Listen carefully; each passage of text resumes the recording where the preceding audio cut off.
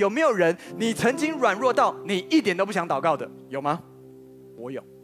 那个痛苦是痛苦到我已经信心不足到连张开口都没办法。为什么要说方言？因为圣灵可以亲自为我们祷告。况且我们的软弱有圣灵帮助，我们本不晓得当怎样祷告，只是圣灵亲自有说不出来的叹息替我们祷告。如果你自己都能够靠着你所想的跟神祷告，那么神按照他所想的，会不会比你所想的更加厉害？他的道路高过我们的道路，他的意念高过我们的意念，因此我们用悟性祷告很重要。我们需要从悟性的里面来祷告，也就是你用你听得懂的语言。但是同样有一个超乎你语言的东西，它是在你的软弱的时候有圣灵帮助，他亲自用说不出的叹息替你祷告。这样的祷告就是方言。你觉得你需要吗？